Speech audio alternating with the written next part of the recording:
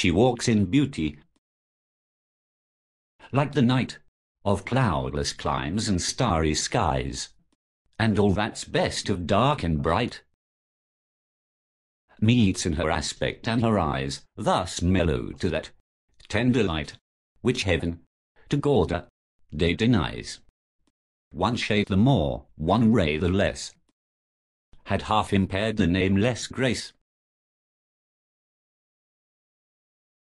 which waves in every raven nest, or softly lightens on her face. To where thoughts serenely sweet express how pure, how dear their dwelling place. And on that cheek and on that brow so soft, so calm, yet eloquent the smiles that win, the tints that glow, but tell of days in goodness spent, a mind at peace with all below, a heart whose love is innocent. Shit. Spent bloody ages making this. Wonderful Dogs, of the poem. Sorry, Mr. Byron. Your Lordship.